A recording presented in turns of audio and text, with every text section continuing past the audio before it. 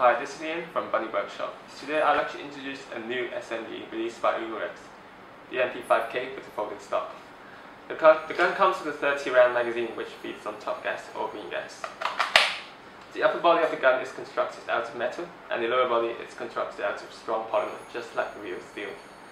As this gun is um, licensed by Umarex, it comes with full trademarks on the side and also the top. This gun can be fired in semi-automatic or fully automatic via the um, ambidextrous selector. Um, the internals of um, VFC, as this gun is OEM by VFC, which means that the older VFC uh, MP5 mags can be used in this gun.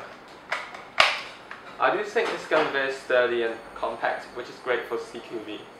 Now let's start the shooting test. Now we're going to begin the test for the MP5K.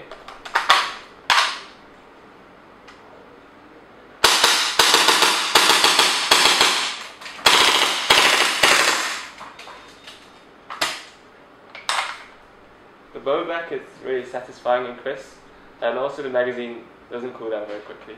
So I kind of shot all the, uh, all the bullets out without any cooldown, so pretty satisfying. Thank you all for watching. This is Ian from Bunny Workshop.